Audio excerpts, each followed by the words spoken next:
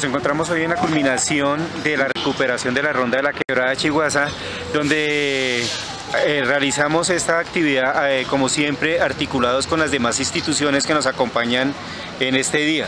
Eh, en cuanto a área limpia,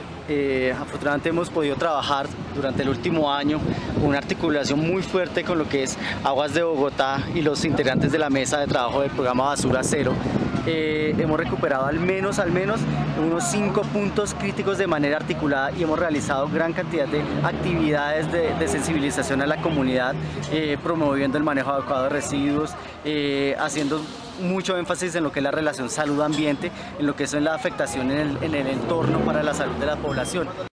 Recibimos la, mejoría en el, paisaje de parte de los intereses de la comunidad en razón a que ha ido entrando más en conciencia cada vez que se le solicita a los operadores, a la institución, la colaboración de restauración y recuperación de espacios, eh, transformándolos en, zonas verdes, en, parches ecológicos, eh, que es la intención de la comunidad, volver a restaurar el entorno transformando la basura y el deterioro en, parches verdes, sembrando árboles, limpiando, creando jardines, porque pues eh, hemos encontrado apoyo y colaboración de la